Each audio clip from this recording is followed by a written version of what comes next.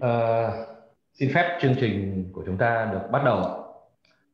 Uh, lời đầu tiên thì uh, thay mặt Trung tâm Hòa giải Việt Nam thuộc uh, Trung tâm Trọng tài Quốc tế Việt Nam thì uh, chúng tôi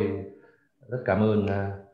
quý vị uh, đã tham dự hội thảo trực tuyến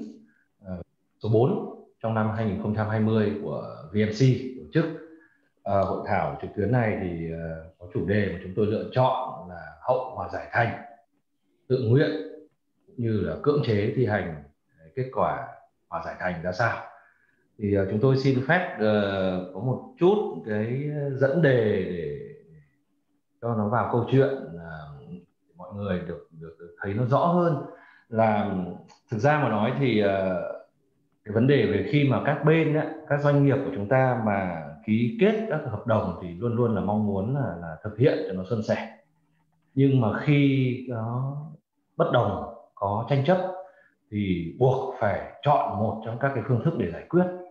Thì một trong các cái phương thức giải quyết rất là mới à, rất là văn minh hiện đại có nhiều ưu điểm chính là phương thức hòa giải. Thì cái phương thức hòa giải này thì bản thân cái tên của nó nghe đã thấy rất là hấp dẫn rồi bởi là các bên tham gia cùng với sự hỗ trợ của hòa giải viên để mà đã có tranh chấp bất đồng nhưng mà lại hòa được để và giải quyết thật là hòa hiếu được uh, giữ được các cái quan hệ làm ăn giữa các bên. Không những vậy thì mà chi phí để giải quyết thì nó cũng rất là thấp. Uh, thời gian thì giải quyết là nhanh. Và cái kết quả mà các bên ghi nhận trong cái văn bản mà thỏa thuận ấy, gọi là văn bản về kết quả hòa giải thành thì cái văn bản kết quả đó là hoàn toàn là do chính các bên uh, cùng với hòa giải viên để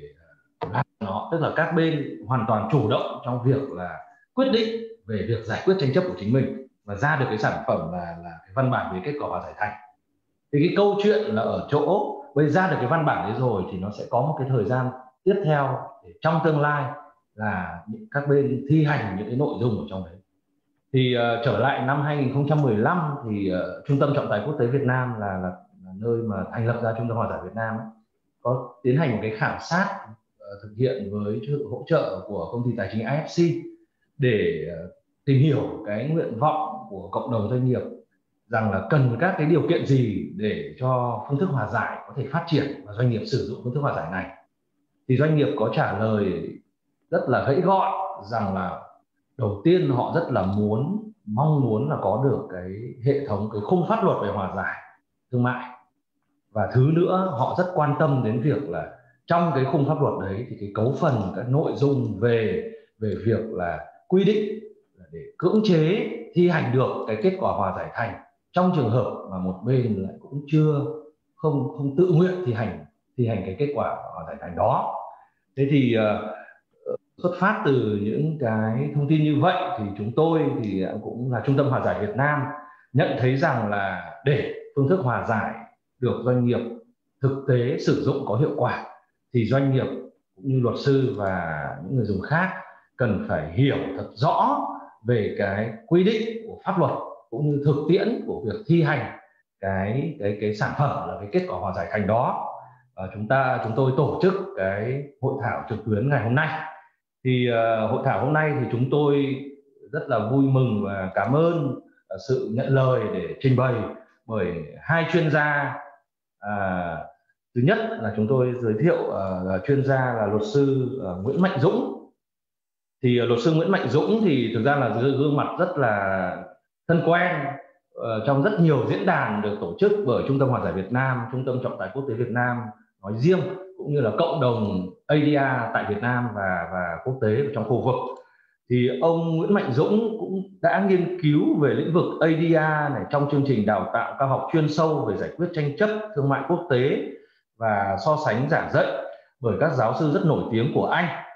uh, các giáo sư của đại học trường đại học luật Queen Mary cũng như là đại học uh, tổng hợp London. Um, và cũng ông Dũng thì là hòa giải viên của nhiều trung tâm hòa giải trong đó có trung tâm hòa giải Việt Nam uh, trung tâm hòa giải liên kết giữa Trung Quốc lục địa và Hồng Kông uh, trung tâm hòa giải quốc tế Nhật Bản và tòa trọng tài quốc tế Hải Nam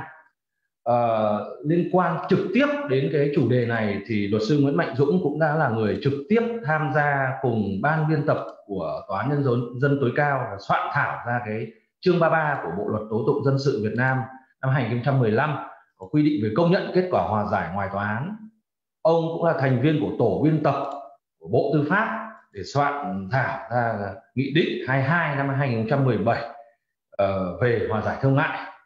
Thì diễn giả thứ hai ờ, sẽ là luật sư Nguyễn Trung Nam. Thì trước khi tới phần là luật sư Nguyễn Trung Nam trình bày thì chúng tôi cũng sẽ giới thiệu về các cái uh,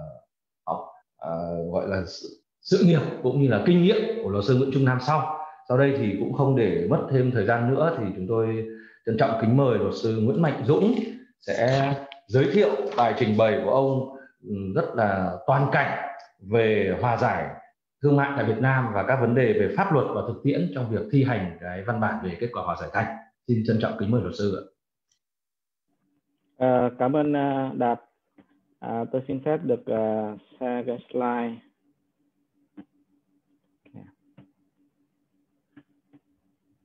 À, không biết là Đạt có nhìn thấy cái slide trên màn hình không nhỉ? À, dạ em đã nhìn rõ. Vâng. Ok.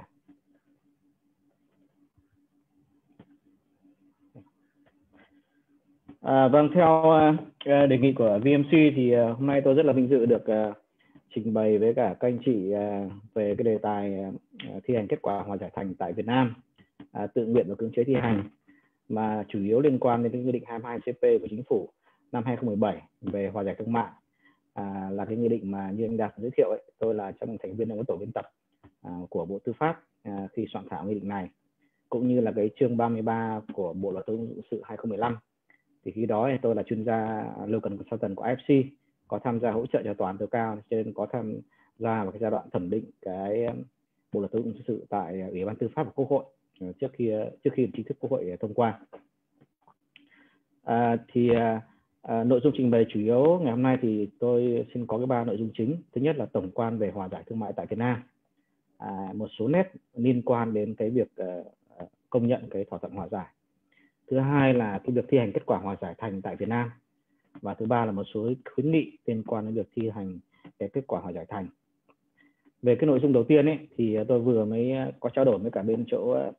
à, cục bổ trợ tư pháp là cái ờ, cơ quan quản lý nhà nước à, về các tổ chức trung, trung tâm trọng tài hòa giải thì theo như thống kê cho đến ngày hôm nay thì Bộ Tư pháp đã cấp giấy phép cho 22 tổ chức tất cả bao gồm 15 trung tâm hòa giải và 7 trung tâm trọng tài bổ sung thực hiện cái chức năng hòa giải.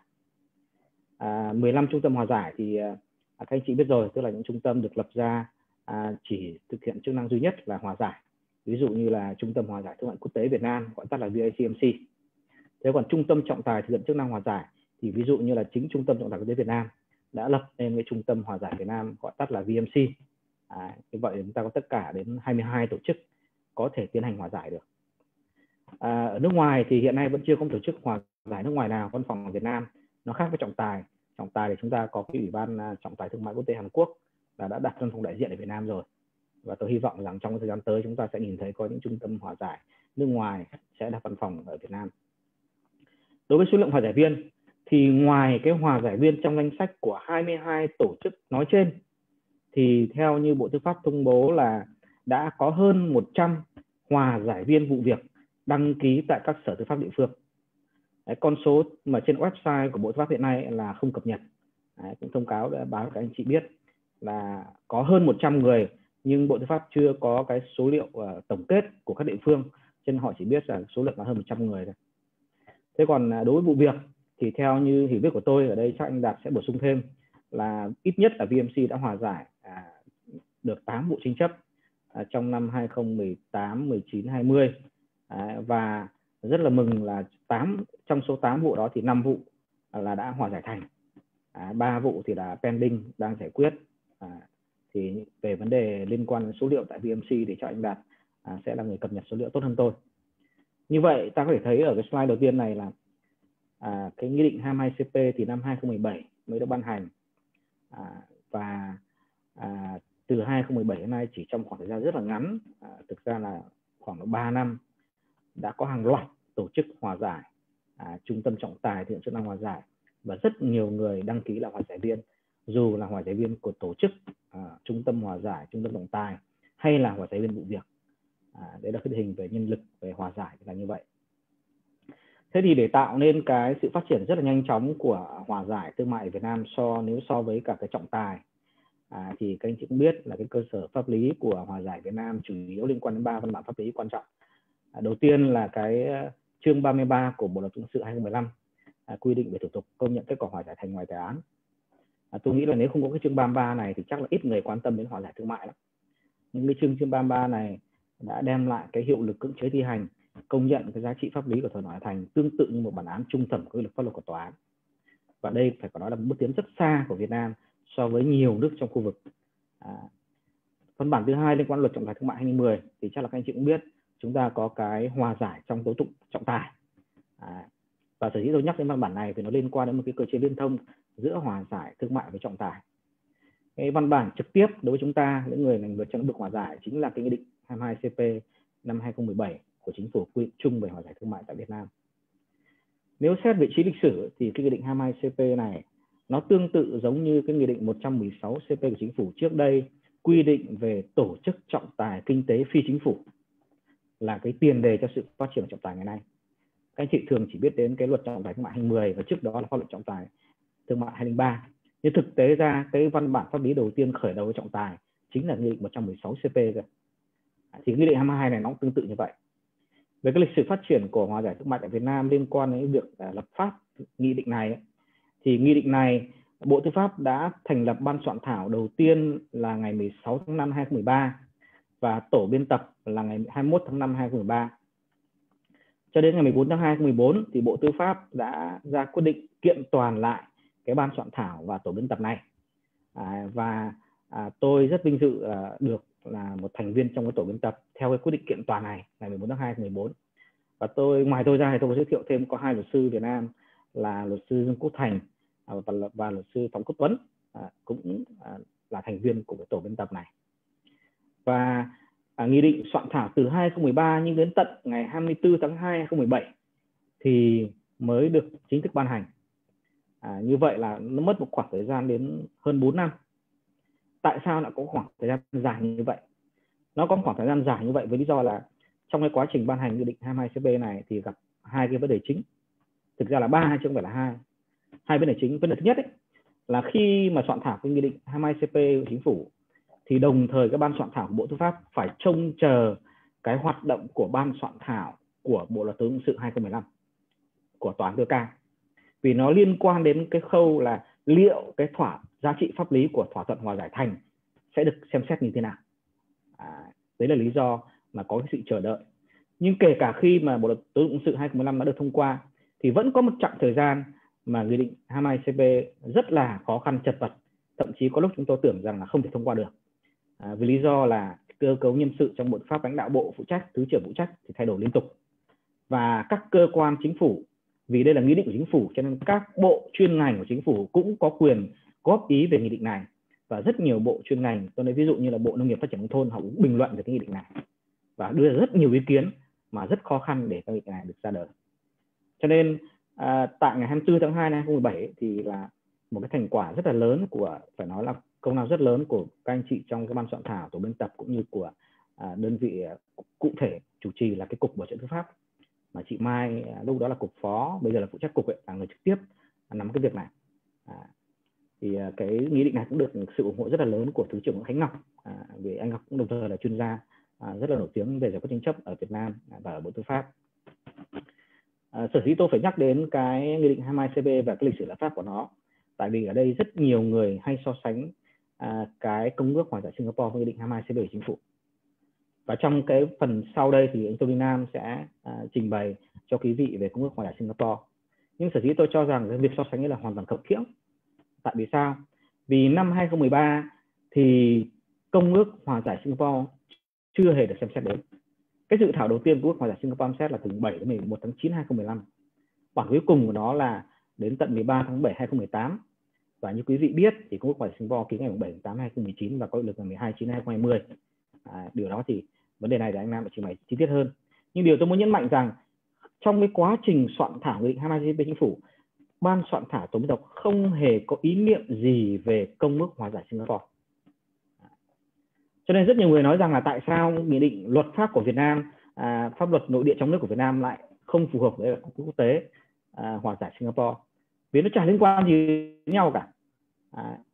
Và quý vị cũng biết là Việt Nam chỉ trở thành thành viên chính thức của Ủy ban Luật Thương mại Quốc tế Liên Hợp Quốc ASEAN ngày 18 tháng 12 năm 2018.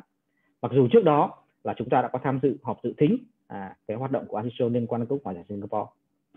À, nhưng khi mà soạn thảo cái nghị định hòa giải thương mại 2010 à, 2017 ấy,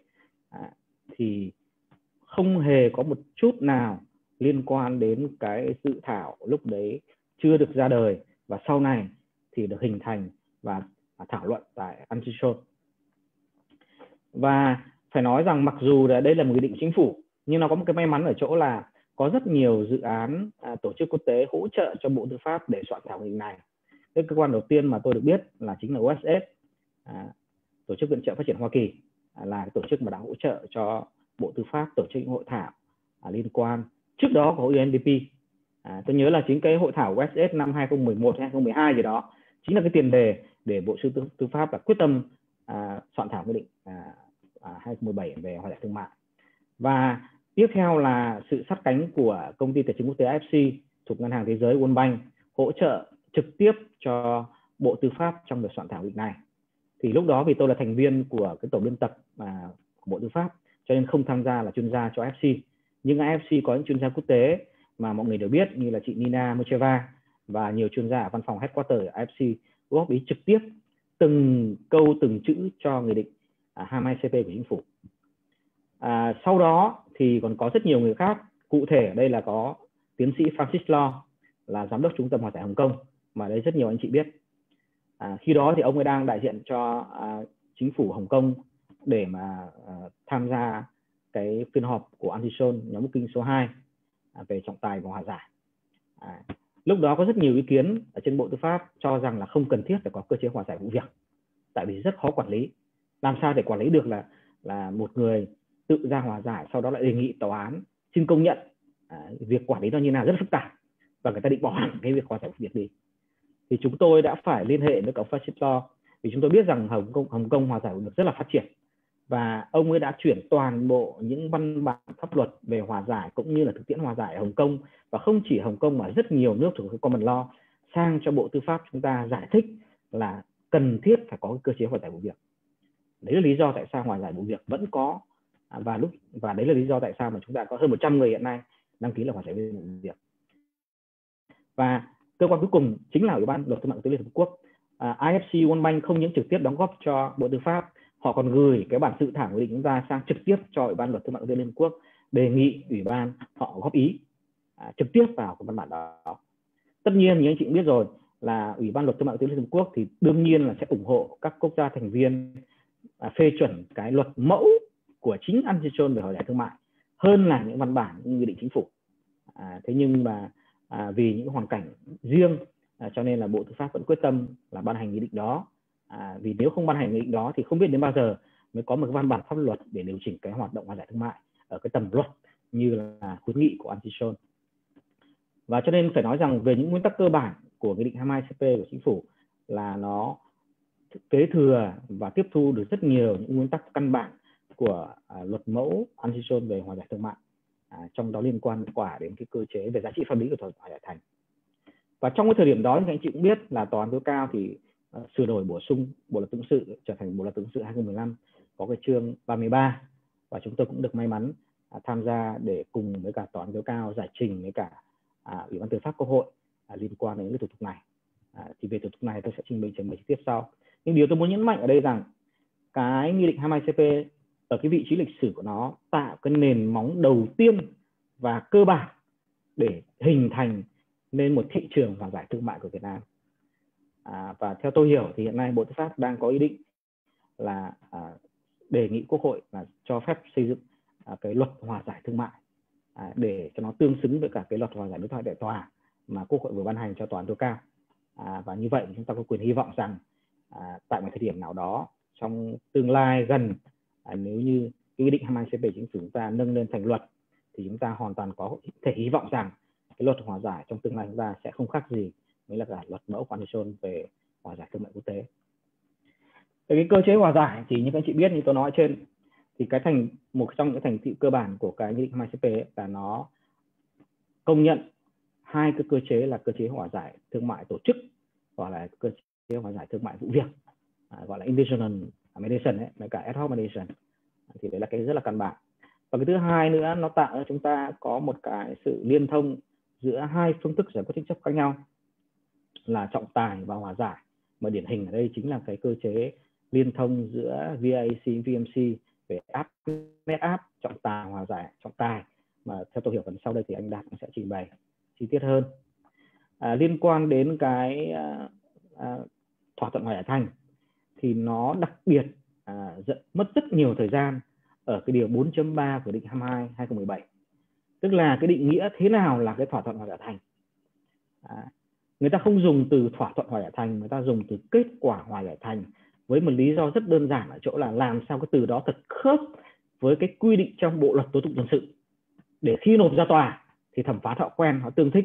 à, và họ xem xét thủ tục một cách dễ dàng. À, đấy là lý do những cái thuật ngữ ở trong cái nghị định 22 CP bị ảnh hưởng rất nhiều bởi cái cả chương 33 của bộ luật tố tụng dân sự.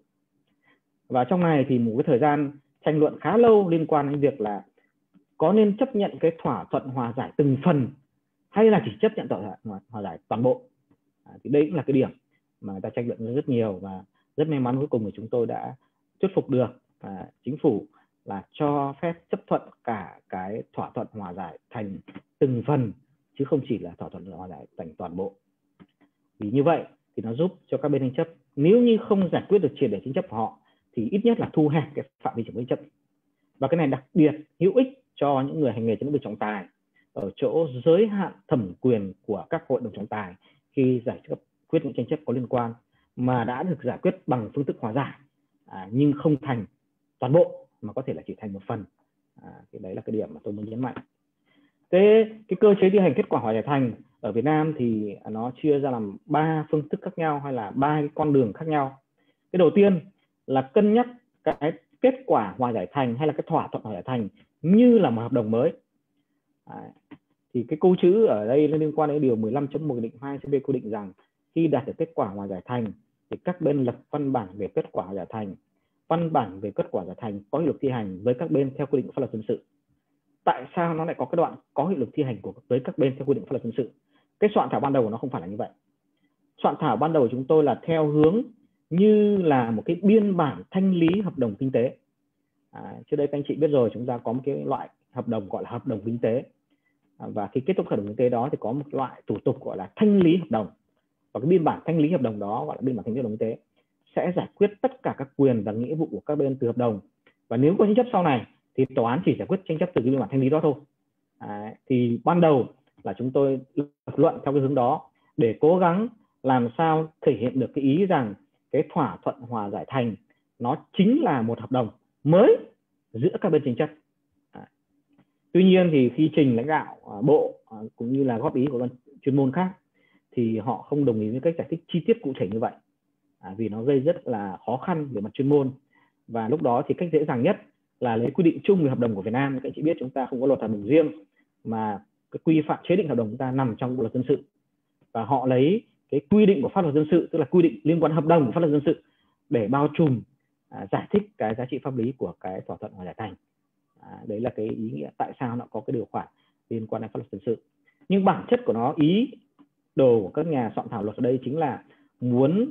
giải thích cái giá trị pháp lý của cái thỏa thuận hòa giải thành như là một hợp đồng mới à. và nó liên quan rất nhiều đến chuyện là đã là hợp đồng thì sẽ có cái điều khoản như thế nào các bên có quyền chọn luật hay không chọn giải quyết tranh chấp hay không nếu vẫn tiếp tục phát sinh tranh chấp từ hợp đồng mới đó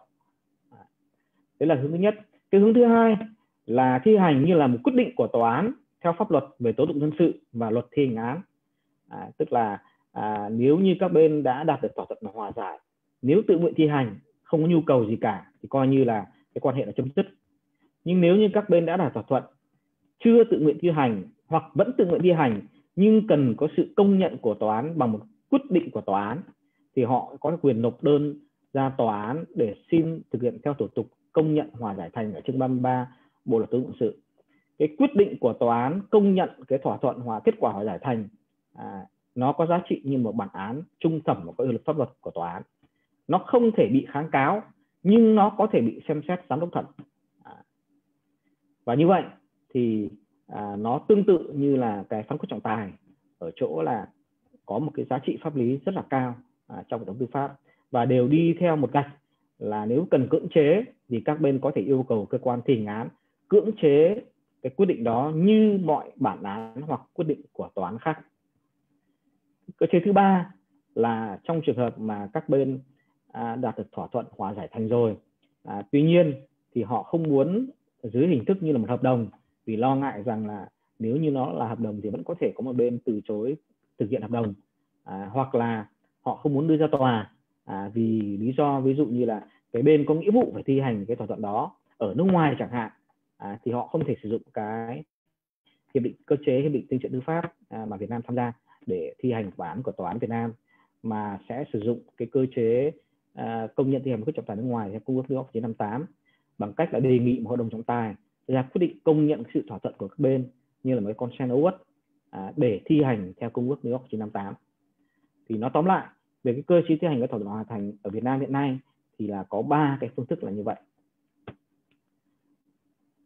À, liên quan đến cái công nhận kết quả hòa thành ngoài tòa án thì quy định tại điều 417 của Bộ luật tố tụng sự 2015 và trong cái điều 417 luật sự 2015 này thì có à, điều cái khoản một liên quan đến năng lực ký kết của các bên thì nó được xem xét tương tự như là năng lực kết hợp đồng. À, thì phản ánh rằng là người ta xem xét cái thỏa thuận hòa thành đó như là một cái hợp đồng cho nên phải xét ra được kết của các bên. Cái này rất là bình thường không có gì khác cả. Nhưng đến cái khoản 2 ấy, thì đây là cái mà toán một trong những vấn đề mà toán đặc biệt quan tâm. À, tức là các bên tham gia thỏa thuận hòa giải là người có quyền nghĩa vụ đối với nội dung của thỏa thuận hòa giải. Hay nói cách khác cái đối tượng hợp đồng phải là cái quyền nghĩa vụ mà các bên tham gia. À, và trường hợp nội dung thỏa thuận hoàn thành liên quan đến quyền nghĩa vụ của người thứ ba thì phải được người thứ ba đồng ý. À, có hai cái vấn đề mà khi xem xét ở chương 33 luật hình sự tòa án tối cao cực kỳ quan tâm à, dành thời gian thảo luận rất nhiều là liên quan thứ nhất liên quan đến người thứ ba à, và thứ hai là liên quan đến nghĩa vụ đối với nhà nước. À, vì họ rất lo ngại là thỏa thuận hòa giải do cái tính bảo mật của nó chỉ trực tiếp liên quan đến các bên hòa giải thôi. Cho nên nếu như bên nào không được biết đến cái việc hòa giải đó có thể bị ảnh hưởng quyền lợi thì tòa án sẽ xử lý như thế nào những câu hỏi tòa án thường đặt xuyên đặt ra à, yêu cầu à, ban biên tập à, và ban soạn thảo phải giải, giải đáp là như vậy. À, và cái khoản thứ tư là nội dung thỏa thuận hòa giải thành bên là hoàn toàn tự nguyện nghĩa là theo nguyên tắc chung của hợp đồng đúng không ạ? Tự nguyện giao kết không vi phạm điều cấm của pháp luật. Trước kia là không vi phạm à, không trái pháp luật. À, nhưng mà sau đó thì chúng tôi cố gắng đưa hẳn ra cả là phải là hẳn một điều cấm của luật. Chứ không phải văn bản pháp luật mà điều cấm của luật. Thì mới là để giới hạn cái phạm vi mà có khả năng từ chối công nhận lại. Không trái đạo đức xã hội và quan trọng nhất là không nhằm trốn tránh nghĩa vụ với nhà nước hoặc người thứ ba. Tức là tòa án tối cao rất quan tâm đến những cái gọi là giao dịch giả tạo. À, họ lo ngại rằng là các bên có thể lợi dụng cơ chế hòa giải thương mại để trốn tránh nghĩa vụ thuế với nhà nước chẳng hạn. À, hoặc một nghĩa vụ hợp đồng với bên thứ ba. À, vì vậy cho nên cái khoản hai khoản hai và khoản 4 là cái khoản mà mất rất nhiều thời gian tranh cãi trong ban soạn thảo. À, của tòa án tối cao cũng như là à, ủy ban tư pháp. Và cái khoản thứ ba thì chỉ cần một trong hai bên có đơn yêu cầu tòa án công nhận thì tòa án sẽ thụ lý. Ban đầu của nó quy định rằng là phải được cả hai bên yêu cầu và không có tranh chấp. Tức là sau khi ký thỏa thuận hòa giải rồi mà các bên không còn tranh chấp gì nữa hai bên cùng yêu cầu thì tòa án mới thụ lý đơn. À, sau đó thì tranh luận rất là ác liệt và chúng tôi đề xuất là không nên bắt buộc. Thứ nhất là không nên quy định ràng buộc rằng là các bên không có tranh chấp. À, vì lý do họ mang ra tòa án để xin công nhận là để bảo đảm rằng là là không còn tranh chấp nữa. À, cho nên nếu mà bảo rằng là tòa án chỉ thụ lý khi các bên không tranh chấp thôi thì nó sẽ rất khó khăn cho các bên khi mà chọn hòa giải. Và cũng không bắt buộc phải hai bên mà chỉ cần một bên yêu cầu là tòa án đã thụ lý. Thì đấy là lý do liên quan đến điều 417 những cái vấn đề xoay quanh cái khoản 2 và khoản 4 trong quá trình thảo luận à, trực tiếp ở cái giai đoạn thẩm định ở ủy ban tư pháp quốc hội là như vậy cái cái thủ tục thì trước khi tôi tham gia à, cùng thẩm định cái phần này thì à, à, tôi được biết cái dự thảo ban đầu của nó liên quan đến thủ công nhận hòa kết quả thành đoán được thiết kế như thủ tục xin công nhận và cho thi hành phán quyết trọng tài nước ngoài à. và cái thủ tục đó thì chắc là các luật sư và các anh chị đều biết là nó rất là phức tạp à. và sau đó thì chúng tôi có lập luận giải thích với cả ban soạn thảo cũng như là với cả ủy ban tư pháp rằng là cái thủ tục công nhận thi hành phán quyết trọng tài nước ngoài nó hoàn toàn không phù hợp với cả cái loại hình này. Mà nên lấy cái mô hình về thủ tục đăng ký phán quyết trọng tài vụ việc ấy à, để làm cái hình mẫu à, soạn thảo cái quy trình này. Tại vì à, họ yêu cầu là phải đưa ra những ví dụ minh họa các quốc gia khác nhau xem cái quy trình cụ thể như thế nào. À, thì chúng tôi không thể nào lấy được cái ví dụ cái quy trình tố tụng à, tòa án các nước rất là khác nhé về cơ bản chúng tôi muốn phân đấu cái thủ tục công nhận kết quả thành của tòa án như là một thủ tục hành chính tư pháp hơn là một quy trình tố tụng. À, và nó có những bước cụ thể sau đây nhất là năm năm bước. Bước đầu tiên là nộp đơn yêu cầu công nhận kết quả hải thành cho tòa có thẩm quyền. Thời hạn là 6 tháng. Ban đầu người ta chỉ cho thời hạn 30 ngày. Tương tự như thời hạn xin hủy phán quyết trọng tài. À, chúng tôi thì đề xuất là cho phép cho phép cho phép một năm à, ít nhất là tối thiểu một năm. Và sau khi tranh luận thì à, thống nhất với nhau lại thôi cho một khoảng thời gian trung gian là 6 tháng. 6 tháng tại sao? Vì 6 tháng để cho các bên có thể cân nhắc đến việc họ tự nguyện thi hành. Mà nếu họ tự nguyện thi hành rồi thì có thể rất nhiều bên sẽ không cần có nhu cầu công nhận ở tại tòa án nữa. Như vậy là tòa án bớt đi công việc. Nhưng tòa án thì không muốn để một thời hạn dài như là một năm vì như vậy thì nó làm xáo trộn cái quan hệ pháp lý và có thể tăng cái khối lượng công việc không cần thiết lên cho tòa án à, cho nên thỏa hiệp cuối cùng là 6 tháng kể từ ngày có kết quả giải thành tòa án thụ lý đơn yêu cầu thì điều 363, 364, 365 về chuẩn bị xét đơn 15 ngày. À, bước 4 mở phiên họp xét đơn trong 10 ngày. À, và bước 5 tòa án ra quyết định công nhận hoặc không công nhận kết quả hòa giải thành. Đây nó có một cái câu việc không công nhận không ảnh hưởng đến nội dung và giá trị pháp lý của kết quả giải thành. Nếu các anh chị đọc câu này các anh chị thấy có một câu rất tương tự liên quan đến phán quyết trọng tài vụ việc. Tức là việc tòa án có đăng ký hay không đăng ký phán quyết trọng tài việc không ảnh hưởng đến giá trị pháp lý của phán quyết trọng tài đó. À, tại vì sao? Vì thời điểm đó khi chúng tôi soạn thảo chúng tôi giải trình cho tòa án rằng là chỉ khi nào à, các bên có nhu cầu xin cưỡng chế thi hành một phán quyết trọng tài ở Việt Nam thì họ mới nộp đơn đến Việt Nam để đăng ký còn nếu họ muốn công nhận ở nước ngoài thì họ nộp thẳng cho tòa án ở nước ngoài không cần có cái khâu đăng ký ở Việt Nam. Cho nên cái việc tòa án Việt Nam có đăng ký hay không đăng ký nó không ảnh hưởng gì đến giá trị pháp lý của phán quyết đó cả theo đúng công ước New York 958 và khi soạn thảo cái chương 33 này thì người ta lấy theo đúng cái ý tưởng đó. À, tại vì sao? Vì cái thủ tục công nhận kết quả trở thành không phải là thủ tục bắt buộc. Tức là các bên có nhu cầu thì mới tòa án mới xem xét. Còn không thì tòa án vẫn tôn trọng cái giá trị pháp lý như nó vốn có. À, thì đấy là cái điểm mà mọi người sẽ rất là ngạc nhiên liên quan đến cái câu công nhận không công nhận. Một cái điểm nữa là cái thủ tục này thì là chỉ có một cấp à, không phúc thẩm. À, thế nhưng mà có giám thẩm à, rút kinh nghiệm của cái khâu à, phán quyết trọng tài là không có cấp phúc thẩm không có cả cấp giám thẩm.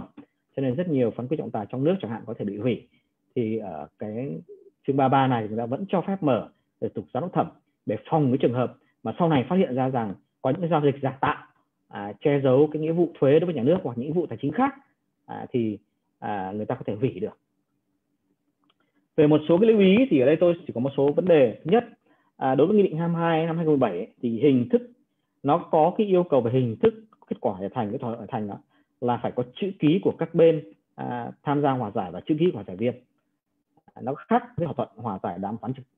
nó khác với thỏa thuận đàm phán thương lượng trực tiếp giữa các bên ở chỗ là có sự trung gian của giải viên cho nên đòi hỏi phải chữ ký của giải viên. Cái này hơi khác một chút cho các nước khác. Ở các nước khác thì không nhất thiết phải có chữ ký xác nhận của hòa giải viên vào trong cái thỏa thuận hòa giải thành. Thứ hai là tiêu chuẩn của hòa giải viên thì các chị thấy rằng tiêu chuẩn này là y chang như tiêu chuẩn của trọng tài à, viên trọng tài thương mại không có gì khác cả. Vì trong cái quá trình soạn thảo cái nghị định 22 CP cái dự thảo ban đầu của nó gần như sao chép lại từ cái luật trọng tài thương mại 2010 và như vậy thì anh chị biết là nó rất là khác biệt. À, nó không thể nào mà sao chép máy móc như vậy được. Và riêng cái tiêu chuẩn này thì người ta yêu cầu là phải giữ lại. Đối với chương 33 thì cái căn cứ để từ chối công nhận thỏa thuận hòa thành nó không có cái căn cứ về hình thức. À, tức là ví dụ như là nếu như hòa giải viên mà không đủ tiêu chuẩn chẳng hạn vẫn hòa giải vẫn có thỏa thuận hòa thành thì khi đưa ra tòa án tòa án có từ chối công nhận hay không thì trong những căn cứ để tòa án từ chối công nhận nó không có căn cứ này không có căn cứ về hình thức này à. và một cái điểm nữa nó liên quan đến cũng không phải là Singapore ở chỗ là cái tiêu chuẩn hòa giải viên đó nó có phần nào phản ánh hoặc là đi đúng hướng cái mà thế giới quan tâm liên quan đến hòa giải thương mại mà thể hiện cụ thể trong cái công ước hòa giải à, ở Singapore ở chỗ là một trong những căn cứ để từ chối công nhận à, thỏa thuận hòa thành là hòa giải viên vi phạm nghiêm trọng những chuẩn mực áp dụng đối với hòa giải viên hoặc với thủ tục hòa giải mà bên yêu cầu sẽ không tham gia thỏa thuận hòa giải đó nếu như không có vi phạm đó. À, chúng ta đều biết rằng là hòa giải nó khác hẳn với trọng tài ở chỗ là ở trọng tài thì người ta người ta quan tâm rất nhiều đến quy trình tố tụng. Nhưng ở hòa giải thì người ta chỉ quan tâm đến kết quả vì nó là sản phẩm của trực tiếp các bên tranh chấp. Nhưng đối với công ước hòa giải Singapore thì những chuẩn mực nghề nghiệp à, hoặc là cái thủ tục mà nếu có vi phạm một cách nghiêm trọng ảnh hưởng kết quả thì vẫn có thể bị coi là căn cứ từ chối công nhận. À, và đấy là cái điểm mà tôi nghĩ rằng là rất đáng lưu ý đối với các trung tâm hòa giải và trung tâm trọng tài hiện nay. À, tại vì theo như tôi được biết thì ủy ban hòa giải của IBA hiệp hội luật sư quốc tế đang cố gắng xây dựng những chuẩn mực nghề nghiệp cho nghề hòa giải viên. À, và hy vọng là họ sẽ có cho chúng ta những cái à, thích hợp. Về à, đối với cơ chế về liên thông về à, trọng tài hòa giải thì chúng ta có cái điều 9 à, và điều 58 của luật trọng tài thương mại 2010 có cái cơ chế về hòa giải trong trọng tài. Và à, sở dĩ tôi phải đề cập vấn đề này tại vì à, chúng ta đang nói về những cái dịch vụ các trung tâm hòa giải trung tâm trọng tài. Ví dụ như trung tâm trọng tài Việt Nam VAC là có dịch vụ trọng tài VAC và có cả dịch vụ hòa giải của VMC và chúng ta đều biết rằng trên thế giới thì cái mô hình liên kết liên thông giữa trọng tài hòa giải của SIAC và SIMC AppMed App là rất là được biết đến. Thì trong trường hợp này à, chúng ta có thể tận dụng cái khuôn khổ pháp lý hiện có để công nhận cái thủ tục là kết quả hòa giải thành theo điều 58 của luật trọng tài thương mại. Nhưng ở đây cũng phải nói thêm rằng là cái việc hội đồng trọng tài một hội đồng trọng tài cụ thể nào đó có công nhận kết quả hòa giải thành đó hay không không phải là nghĩa vụ pháp lý bắt buộc của họ. À, tại vì sao? Vì theo đúng ngôn ngữ của điều 58 luật trọng tài thương mại. Thì chỉ khi có yêu cầu của các bên tranh chấp à, thì hội đồng trọng tài phải trực tiếp tiến hành hòa giải à, chứ không phải là một tổ chức khác tiến hành hòa giải. Và như vậy thì họ mới ra quyết định công nhận à, cái hòa giải đó. À, cho nên là sẽ rất lưu ý khi các bên tranh chấp mà chọn trọng tài à, cố gắng chọn những trọng tài viên mà ủng hộ cho hòa giải thì có thể họ sẽ linh động để à, xem xét. Và nếu như các bên chọn một à, quy trình hòa giải khác. À, trong thời gian chờ tiến hành tố tụng trọng tài thì hội đồng tài đó có thể ủng hộ cái hoạt động hòa giải đó. Nhưng tôi nhấn mạnh đó không phải là nghĩa vụ pháp lý của các hội đồng trọng tài theo như luật trọng tài thương mại hiện hành. À, về quy uh, cơ chế liên thông à, uh, app App thì có lẽ là để anh anh Đạt là phó đốc của VMC sẽ trình bày. Tôi không muốn nói gì thêm. À, tuy nhiên về cái cơ chế thi hành kết quả hải thành ở nước ngoài thì như anh chị được biết thì rất là tiếc là chúng ta chưa tham gia công ước hòa giải Singapore về công nhận kết quả hải thành tiến hành bởi à, tổ chức tại à, hòa giải nước ngoài. Và cái chương 33 của bộ tụng sự ấy, nó chỉ áp dụng đối với các tổ chức cá nhân có thẩm quyền hòa giải theo pháp luật của Việt Nam. À, các chị biết rằng chúng ta không những chỉ có hòa giải theo quy định 22 CP, chúng ta còn có hòa giải trong tố tụng trọng tài, à, luật trọng tài thương mại 20, chúng ta có hòa giải trong tố tụng dân sự của Bộ luật dân sự, à, tố tụng dân sự 2015, chúng ta có hòa giải đối thoại trước khi tòa án chính thức thụ lý theo luật hòa giải đối thoại mới được ban hành quốc hội. Và chúng ta có cả luật hòa giải cơ sở đúng không ạ? Và rất nhiều loại hình hòa giải khác như hòa giải tranh chấp lao động. Thì chỉ những cái tổ chức mà theo luật pháp Việt Nam quy định có thẩm quyền hòa giải thì tòa án mới xem xét chứ không phải là à, mọi cái thỏa thuận hòa giải ký bởi bất kỳ tổ chức hòa giải nào ở nước ngoài thì tòa án cũng thụ lý theo chương 33 đấy là cái điểm chúng ta cần lưu ý. À, về thi hành ở nước ngoài thì thứ nhất là người ta có thể tự nguyện thi hành như một hợp đồng. À, đơn đơn thuần như là một hợp đồng. Thứ hai theo cơ chế như tôi trình bày trên là cơ chế liên thông giữa trọng tài với hòa giải. À, được ghi nhận một phán quyết trọng tài thực hiện theo công ước New York 958 hoặc thực hiện theo cơ chế như là cơ chế một bản án của tòa nước ngoài. Ví dụ như là à, một tòa án của nước nào đó họ có ghi nhận giống như tòa án của Việt Nam theo chương 33 dưới thành một bản án thì có thể đề nghị tòa án Việt Nam công nhận theo hiệp định tư trợ tư pháp song phương. À, và cuối cùng là một cái cơ chế hoàn toàn mới bắt đầu manh nha ở khu vực Đông Nam Á châu Á là cơ chế liên kết giữa trung tâm hòa giải và trung tâm trọng tài của các quốc gia khác nhau. Ít nhất là hiện nay tôi tìm được hai cái ví dụ cụ thể là SIMC là trung tâm hòa giải quốc tế Singapore đã ký kết những thỏa thuận hợp tác với cả ủy ban trọng tài Bắc Kinh và trung tâm trọng tài quốc tế Bắc Kinh. À, và thứ hai là trung tâm hòa giải quốc tế Singapore SIMC ký thỏa thuận hợp tác với cả tòa trọng tài quốc tế của Shenzhen. À, thì à, Thượng Hải thì như vậy là SCMIA như vậy là một trung tâm hòa giải này mà cụ thể đây là SIMC họ à, đã hòa giải thành một vụ tranh chấp xuyên biên giới và nó thành một cái thỏa thuận hòa giải thành hay là một cái hợp đồng. Họ đã thỏa thuận được một tổ chức trọng tài ở Trung Quốc. Ở đây là ủy ban trọng tài Bắc Kinh hoặc là là, là tòa trọng tài quốc tế của Thượng Hải. Để công nhận cái thỏa thuận hòa giải của SIMC chuyển nó thành một cái phán quyết trọng tài của Trung Quốc. Thì đấy là cái mà tôi nghĩ rằng là rất là thú vị. À, và có lẽ là các trung tâm à, trọng tài và hòa giải Việt Nam cũng nên cân nhắc đến như là cách thức nếu như không phối kết được với tổ chức ở nước ngoài thì ít nhất là giữa các tổ chức trọng tài và hòa giải trong nước có thể liên kết với nhau được để cùng thúc đẩy thị trường trọng tài và hòa giải phát triển. Về cái rủi ro thì như các anh chị biết rồi, cái consent award là một cái mà khái niệm thực ra thì trong luật trọng tài thương mại 20 nó không thực sự là như vậy. À, và có thể có những cái rủi ro nhất định. À, liệu à, cái phán quyết trọng tài mà ghi nhận cái thỏa thuận hòa giải thành một phần thì liệu tòa Việt Nam có xem xét và công nhận hay không thì điều này còn chưa rõ thì chúng ta chưa có những cái vụ việc để biết được xem cái đường lối xét xử của tòa án như thế nào. Tại vì theo như phán quyết trọng tài Việt Nam tòa án Việt Nam chỉ công nhận và cho thi hành những phán quyết trọng tài trung thẩm cuối cùng và giải quyết toàn bộ vụ tranh chấp trên nguyên tắc chung là như vậy. À, cho nên có thể là ảnh hưởng đến cái à, hòa giải từng phần. Và cái căn cứ từ chỗ công nhận thì có thể rất nhiều. Ví dụ như là về quy trình tố tụng không hợp thức vì họ cho rằng là anh thực sự không phải là xét xử trọng tài. À, mà anh chỉ ghi nhận cái việc giải quyết tranh chấp bằng một cái phương thức khác ở một tổ chức khác. À, thủ tục thủ tục giải quyết tranh chấp đấy thực sự cũng không phải thủ tục trọng tài mà là thủ tục hòa giải hay là vi phạm nguyên tắc cơ bản của pháp luật Việt Nam đối với cả phán quyết trọng tài. Về cái khuyến nghị thì ở đây tôi có ba cái khuyến nghị chính mà muốn trao đổi với tất cả các anh chị ở đây. Thứ nhất là nếu như kết quả hòa giải thành cần được thi hành ở Việt Nam hay là cái tài sản để thực hiện các nghĩa vụ trong một cái thỏa thuận hòa giải thành giữa các bên ở Việt Nam thì nên tiến hành hòa giải tại Việt Nam với sự hỗ trợ của các tổ chức trọng tài và hòa giải thương mại Việt Nam như là VIC, VMC hoặc là VICMC. Nhưng nếu như kết quả hòa thành cần được thi hành ở nước ngoài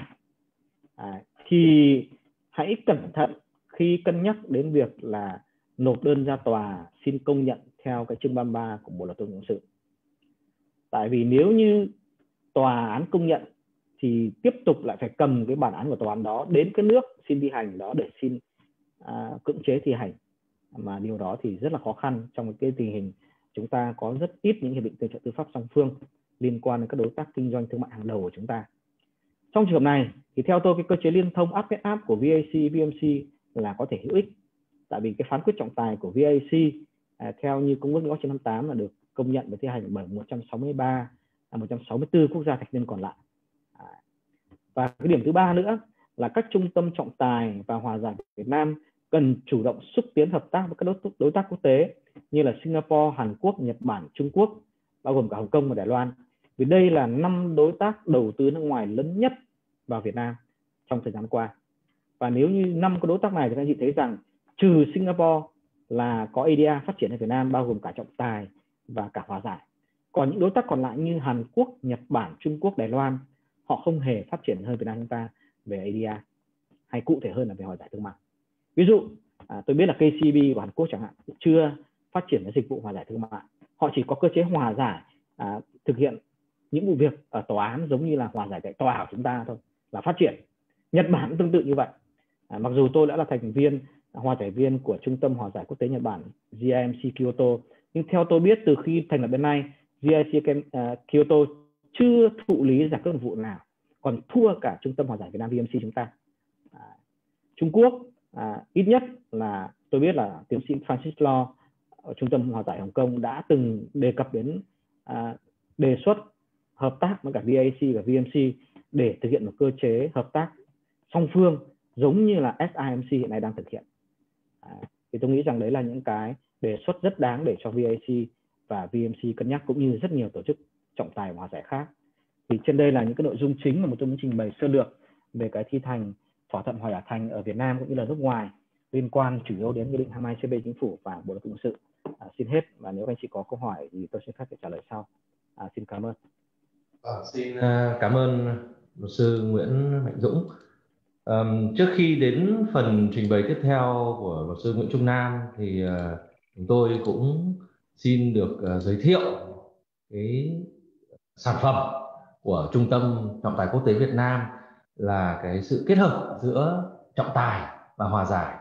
Thì những cái nội dung này một phần luật sư Nguyễn Mạnh Dũng trong cái bài trình bày của mình cũng nói đến. Thì chúng tôi cũng đã ban hành các cái quy trình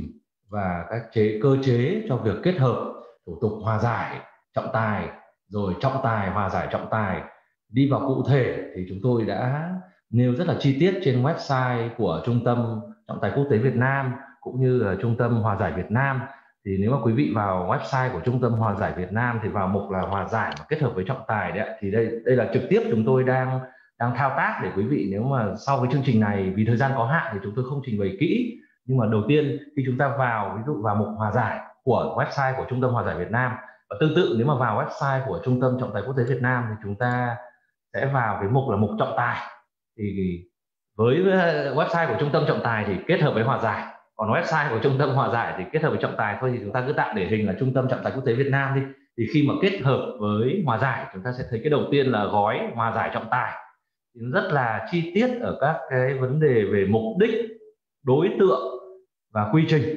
Thật là rõ ràng và đến phần cuối thì chúng tôi cũng nêu một cái điểm về mặt chi phí mà chúng tôi cũng nhấn mạnh. Nói gì thì nói thì cũng phải có, nói đến vấn đề về chi phí thì sẽ có một cái ưu đãi về hoàn phí 15% phí hòa giải uh, ngay sau khi các bên phải buộc phải bắt đầu thực hiện tố tụng uh, trọng tài tại VS nếu hòa giải không thành. Cái này nó có một cái điểm nhấn là nếu mà bình thường mà nói chỉ thực hiện hòa giải á thì theo cái biểu phí hòa giải đang có của trung tâm hòa giải Việt Nam thì nếu mà đã tiến hành phiên họp hòa giải rồi thì cái vấn đề hoàn phí nó không được đặt ra nữa hay nói khác là không được hoàn phí nữa. Thế thì ờ, còn lại thì cái quy trình nữa là quy trình về gọi là gói Ờ, liên quan đến quy trình liên thông trọng tài hòa giải trọng tài thì chúng tôi cũng đã có nhiều dịp trình bày nó khá chi tiết. Chúng tôi sắp tới thì cũng sẽ có những cơ hội khác khi trình bày tới các doanh nghiệp à, thuộc đặc biệt là nhóm doanh nghiệp FDI cũng rất là quan tâm đến cái cái vấn đề này. Thì cũng tương tự cũng có miêu tả về tính mục đích và những cái ưu điểm khi uh, các bên có tranh chấp rồi mà thỏa thuận để sử dụng cái việc liên thông khởi kiện ra trọng tài sau đó đề nghị là tạm dừng tố tụng trọng tài để tiến hành hòa giải. À, cái này nó nó có cái điểm về mặt cái kết quả kết quả của giải quyết tranh chấp thì các bên đã có thể dự dữ liệu được ngay từ đầu là trường hợp mà hòa giải thành tại tại thủ tục hòa giải mà muốn ra được cái sản phẩm là kết ờ, là là văn bản về, về về kết quả hòa giải thành được ký bởi chính các bên là hòa giải viên thì chúng ta lựa chọn cái đó và do vậy thì thôi sẽ không có không có đề nghị là ra được cái sản phẩm là quyết định công nhận hòa giải thành và ký bởi hội đồng trọng tài nữa. Ngược lại, chúng ta tính toán ờ, là mong muốn có được cái sản phẩm kia, tức là sản phẩm tại tố tụng trọng tài là quyết định công nhận kết quả hòa giải thành, ký ờ, bởi hội ờ, bởi hội đồng trọng tài để có giá trị như phán quyết trọng tài để chúng ta tính toán trong việc thi hành ở vấn đề quốc tế nữa. Trong bối cảnh ở Việt Nam chưa là thành viên của công ước Singapore về về thi hành cái thỏa thuận kết quả hòa giải thành quốc tế thì chúng ta sẽ lựa chọn. Cái lựa chọn này là doanh nghiệp chúng ta hoàn toàn chủ động trước khi thực hiện uh, trước khi thực hiện các cái việc các cái thủ tục này. Đấy, thì uh, đi vào chi tiết thì chúng tôi đã soạn sẵn các cái sơ đồ và các cái thông tin rất là cụ thể. Thì xin uh, trân trọng giới thiệu là như vậy. Và để tiếp theo chương trình thì bây giờ thì sẽ đến phần uh, tiếp theo với sự trình bày của luật sư Nguyễn Trung Nam thì uh, anh Nam hiện tại đang cũng là phó giám đốc của trung tâm hòa giải Việt Nam. Tôi thì là phó giám đốc thường trực. Cái chức năng chính của tôi như quý vị cũng thấy qua cả năm vừa qua thì cũng là cố gắng để tổ chức được ờ, rất nhiều những cái sự kiện để phục vụ ờ, doanh nghiệp phục vụ người nghe nâng cao cái nhận thức về hòa giải cũng như là cái cái, cái tính ưu việt của phương thức hòa giải và và tại VMC nói riêng. Uh, luật sư Nguyễn Trung Nam thì về uh, kinh nghiệm về và và chuyên môn về lĩnh vực hòa giải thì là là một trong các cái vị hòa giải viên mà là được ờ, đào tạo và được chứng nhận bởi bởi trung tâm uh, viện trọng tài quốc tế London thế thì nghe thì nó lại hơi lạ là trọng tài thì lại liên quan hòa giải là thế nào thì chúng tôi cũng mong xin giới thiệu một chút là là để đào tạo về hòa giải mà ở trong phạm vi quốc tế thì nó rất nhiều là, là tổ chức. Thì trong đó cũng chính là viện trọng tài quốc tế London là CIH ấy, thì cũng đào tạo cả trọng tài và cả hòa giải cũng có là trung tâm giải quyết tranh chấp hiệu quả CIDER cũng của anh thì cũng đào tạo chủ yếu là sẽ là về hòa giải. Cũng như luật sư Nguyễn Mạnh Dũng như chúng tôi có trình bày thì cũng là chuyên sâu về các vấn đề về ADR và hòa giải tại à, trường Queen Mary cũng của anh. Thế tất cả ba cái đó thì có lẽ thì chúng ta muốn nói đến nước Anh là một đất nước mà, mà nơi mà cũng đào tạo về vấn đề ADR rất là nhiều và, uh, và các vấn đề khác. Thì tiếp theo thì ờ, luật sư Nguyễn Trung Nam thì là là, là luật sư sáng lập của công ty EP Legal và thực ra là trong quá trình liên quan đến cái vấn đề về, về tính quốc tế thì luật sư Nam là có tham gia rất nhiều hoạt động. Trong đó chúng tôi còn nhớ thì là năm ngoái năm 2019 thì là một trong các cái uh, người Việt Nam có tham dự cái lễ ký kết cái công ước Singapore đó ngay tại Singapore và trực tiếp tham dự và, và, và thấy được cái không khí lúc đó những cái kỳ vọng của những quốc gia thành viên những cái phát biểu của những những những đại biểu rất là uy tín rất là tiếng tăm trong lĩnh vực ADR thế thì uh, với những cái background như vậy và với vị trí như vậy thì chúng tôi cũng là xin trân trọng uh, kính mời giới thiệu là luật sư Nguyễn Trung Nam sẽ trình bày ở góc độ quốc tế về vấn đề thi hành thỏa thuận hòa giải thành. Thì bài trình bày sẽ nói về các vấn đề của nước ngoài và mang tính so sánh với Việt Nam và với một tính góc nhìn tích cực để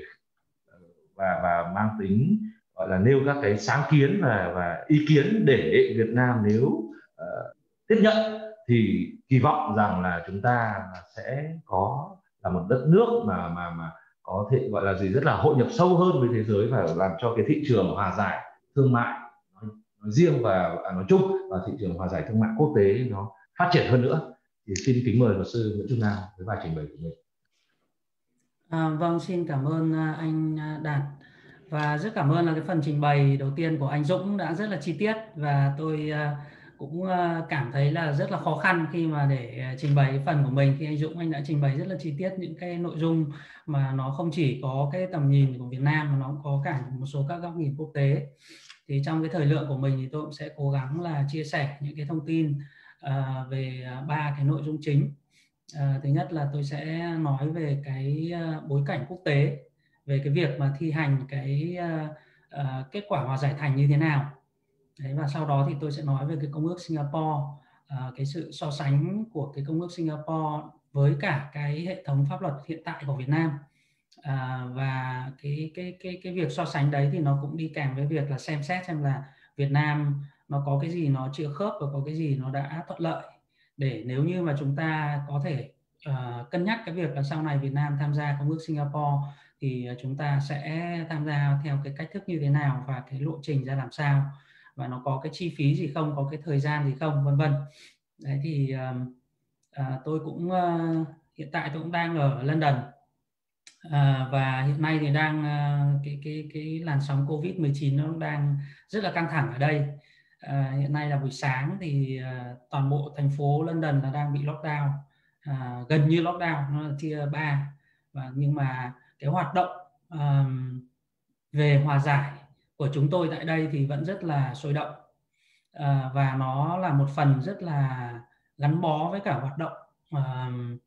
à, thường ngày không phải của chỉ các doanh nghiệp mà của cả tất cả các người dân. Thì à, hiện nay thì tôi có một cái công ty luật cũng tên là EP Legal tại UK thì chúng tôi tham gia rất nhiều vào các cái hoạt động mà giải quyết tranh chấp. Và trong đó thì hòa giải cũng đóng một cái phần gần như là bắt buộc đối với tất cả các cái tranh chấp uh, à, đặc biệt là các tranh chấp giá trị nhỏ. Thì hầu như là các tòa án họ bao giờ họ cho một cái thời gian rất là dài. À, ví dụ như là khi mà đưa đến à, tòa án thì thường là bên nguyên đơn thì rất muốn giải quyết nhanh chóng công việc đúng không ạ? Và rất muốn là là xử lý ngay để cho tôi hoặc là thắng kiện luôn hoặc là tôi biết được kết quả luôn để tôi còn đi về làm việc khác. Thế nhưng mà bao giờ tòa án thì họ cũng sẽ yêu cầu các bên làm việc với nhau thông thường ít nhất là hai tháng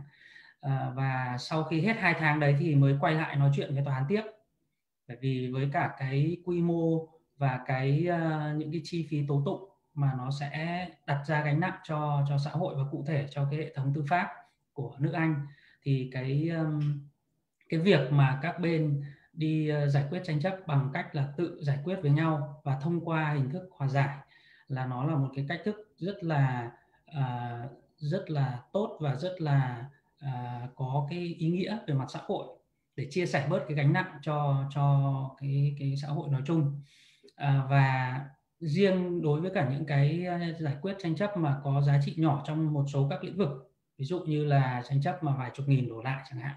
thì người ta sẽ có một cái hệ thống uh, gọi là dịch vụ hòa giải miễn phí mà các anh chị giải quyết tranh chấp có thể tích và chọn là là dùng hay không dùng. À, và thông thường thì mọi người đều chọn dùng. Lý do là bởi vì nếu mà mọi người không dùng ấy, thì nó có một cái yêu cầu ở trong luật Anh là nó sẽ à, không à, nó tức là nếu như mà một người mà từ chối cái việc hòa giải đấy một cách bất hợp lý ấy, thì sau này nó sẽ bị một cái sự trừng phạt của tòa về việc chi phí uh, cho các cái việc tố tụng. Và thường là chi phí tố tụng nó cũng rất là cao nếu mà so với cả các cái tranh chấp giá trị nhỏ. À, thế thì liên quan đến vấn đề mà Ờ, các cái ờ, kết quả mà người ta hòa giải với nhau nó được xử lý như thế nào thì tôi sẽ ờ, chia sẻ một chút uh, thông qua cái cái phần trình bày trên cái slide. À, hy vọng là tất cả các anh chị đã nhìn được cái slide uh, của tôi. Cái thỏa thuận hòa giải thành ấy thì chúng ta sẽ được uh, như là trong cái nghị định 22 ấy thì nó gọi là văn bản kết quả hòa giải thành đúng không ạ? À, và tôi sẽ à, trình bày về cái tình hình của cái việc thi hành này trên thế giới thì người ta thi hành như thế nào. Và có một cái công ước Singapore nó rất là uh, mọi người cũng vừa nhắc đến xong rất là nhiều. À, và anh Dũng cũng có đề cập một số các nội dung liên quan công ước Singapore thì nó có cái vai trò gì và vì sao nó lại phát sinh ra cái công ước này. Và sau đó thì tôi uh, uh, liên hệ với cả Việt Nam và chúng ta cũng sẽ nói về những cái gì mà Việt Nam có thể kỳ vọng hoặc là à, hoặc là trong tương lai Việt Nam có thể nhìn nhận về cái công ước Singapore này. À, thì cái kết quả hòa giải thành ở trong cái góc nhìn của những uh, các cái nước cho các cái quốc gia mà đã phát triển về mặt pháp luật thì đối với họ thì cái kết quả hòa giải thành này nó uh, không có khác gì một cái thỏa thuận thỏa thuận giải quyết tranh chấp hoặc là một cái thỏa thuận hợp đồng bình thường cho nên là trong bối cảnh một cái quốc gia phương Tây như là Anh hay Pháp hay là Đức vân vân thì cái việc thi hành những cái uh, kết quả hòa giải thành này nó nó giống hệt như một cái thỏa thuận hợp đồng bình thường. Và nó là một cái dạng phương thức ngắn của một cái hợp đồng mà mà các bên có thể giải quyết với nhau. Bởi vì thông thường ấy, khi mà họ có một cái đối tượng để họ thực hiện một cái hợp đồng thì cái đối tượng đó nó có thể rất là rộng thế nhưng khi mà họ đã có tranh chấp thì cái tranh chấp thường nó hẹp hơn và người ta có một cái thỏa thuận mà để giải quyết cái tranh chấp đó thì cái này nó gọi là settlement agreement đúng không ạ? Thì cái thỏa thuận này nó sẽ uh, nó sẽ ờ, giống như là một cái thỏa thuận bình thường nhưng mà cái cái cái phạm vi của nó hẹp hơn. Và thường vì cái phạm vi hẹp như vậy cho nên là cái uh, cái cái uh, khả năng nó nó tự được thi hành nó sẽ cao hơn bởi vì nó rõ ràng hơn và nó không có cái gì để mà tranh cãi ở trong đó cả. Nó sẽ rất ít cái yếu tố mà uh, gọi là uncertainty tức là không không rõ ràng hoặc là không không không có thể thi hành được. Thì uh, cái tỷ lệ tự thi hành của những cái kết quả hòa giải thành là thường là rất cao. Nó cao hơn so những cái hợp đồng bình thường đúng không ạ? Lý do là bởi vì là họ giải quyết với nhau một cái tranh chấp và họ tự nguyện uh, À, ký kết một cái thỏa thuận để giải quyết tranh chấp đó. Cho nên là mặc định là các bên đều có uh, đều có thiện trí khi mà bước vào một cái phiên hòa giải. Thì rõ ràng là các bên khi mà họ đã bước ra khỏi cái phiên hòa giải với một cái kết quả hòa giải thành thì họ không có lý nào họ vừa mới viết ra một cái văn bản họ vừa mới xác nhận là là cái văn bản này là uh, là có cái giá trị ràng buộc với họ mà ngay sau đó thì họ lại xé xé tan nó đi khi mà nó còn chưa giáo mực đúng không ạ? Cho nên là tỷ lệ tự thi hành nó rất là cao. Và thường người ta ít đặt ra vấn đề là là sẽ phải đi cưỡng chế thi hành. Và bởi vì nó không phải là một cái tranh chấp mà uh, có cái đối tượng rộng cho nên là thông thường tất cả các pháp luật của các quốc gia thì họ đều tìm cách để giảm thiểu các cái trình tự thủ tục tố tụng liên quan đến cái ờ, cái kết quả hòa giải thành.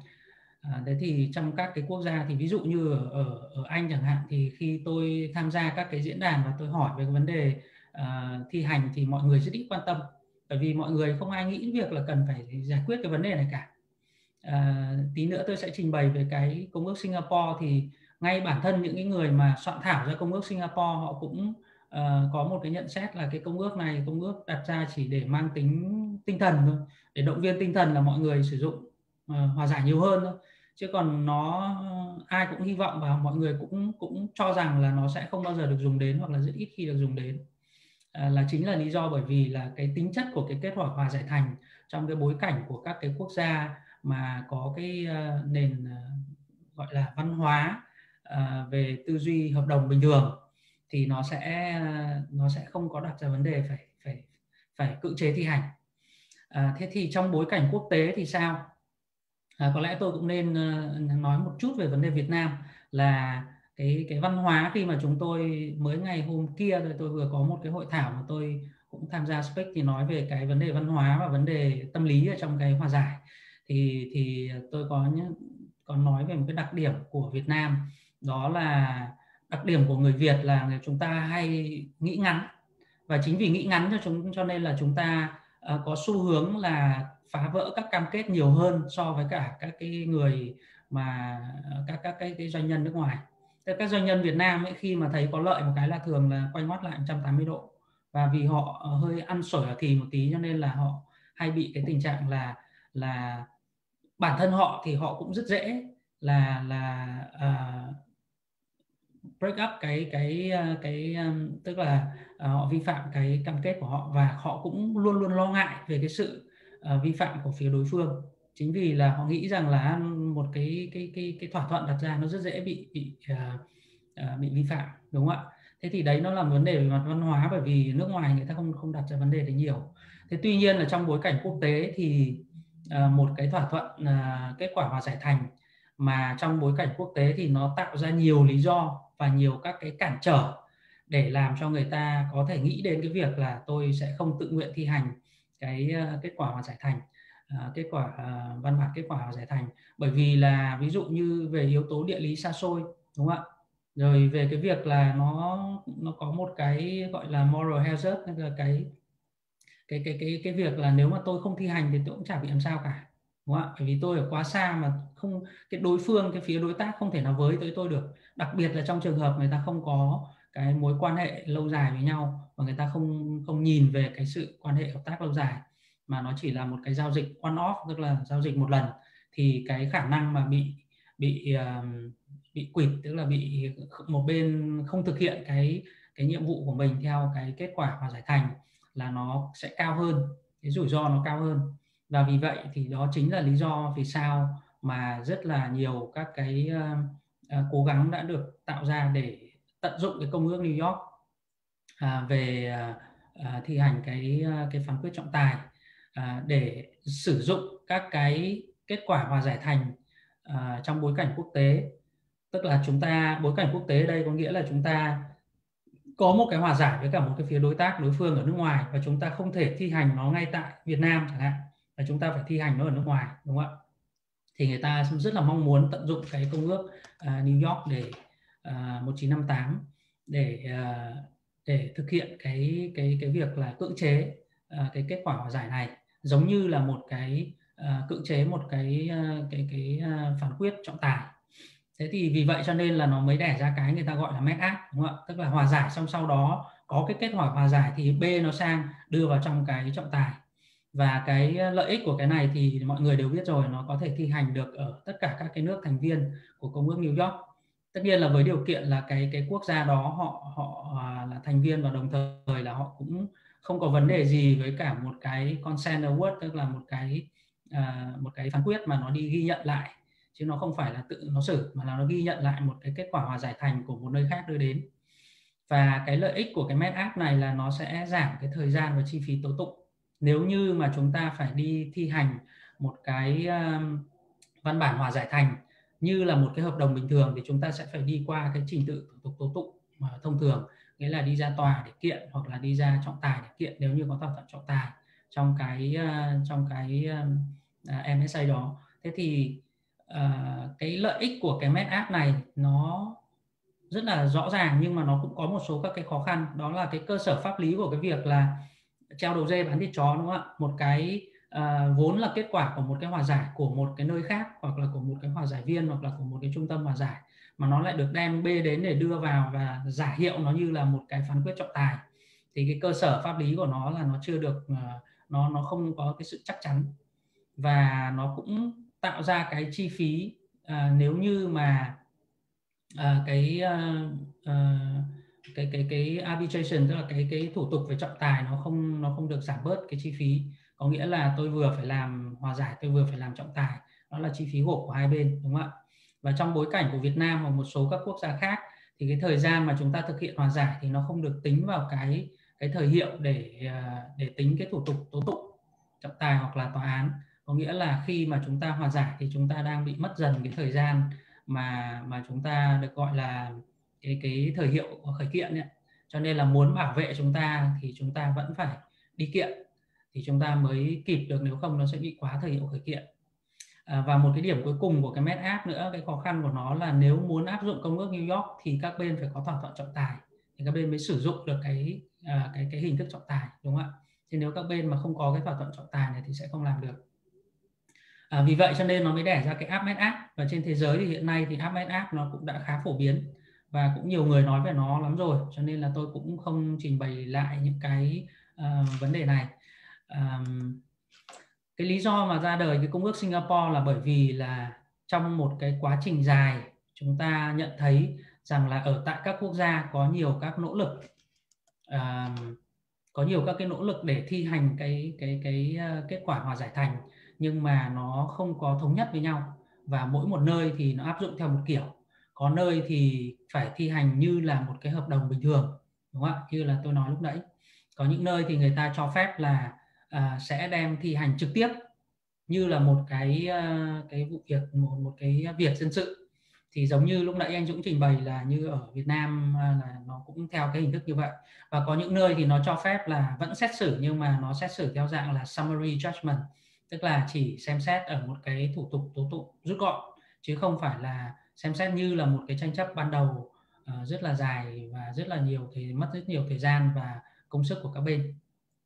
thế thì bởi vì cái sự không thống nhất như thế cho nên là đã có một cái uh, tiếng nói chung trong cái cộng đồng quốc tế về việc là uh, mong muốn có một cái công ước. Mà tại cái thời điểm năm 2015 như là anh Dũng nói lúc nãy ấy, thì cái cái cái kỳ vọng và cái mong cái nguyện vọng của mọi người là làm ra một cái công ước New York thứ hai à, về cái việc thi hành. Thay vì là thi hành các cái phán quyết trọng tài thì là thi hành các cái kết quả hòa giải à, thành đúng không ạ? Mà mang tính quốc tế thế thì đầu tiên là nó thể hiện một cái sự phát triển trong cái nhận thức của cộng đồng các doanh nhân ờ, và các cái ờ, ờ, các cái quốc gia về vấn đề hòa giải. Có nghĩa là hòa giải nó không phải là một cái